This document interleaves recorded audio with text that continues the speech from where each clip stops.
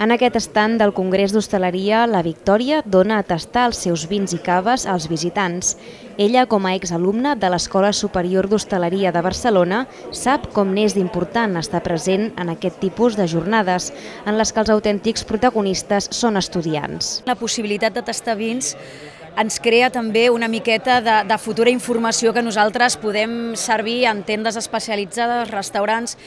És un punt de sortida per al coneixement del vi. Jo penso que és molt bona oportunitat que nosaltres arribem als joves que seran realment prescriptors nostres. Parlar amb els professionals i conèixer quins són els seus productes ajuda als estudiants a trencar el gel d'una realitat que encara desconeixen. Nosaltres des de l'escola ho veiem molt...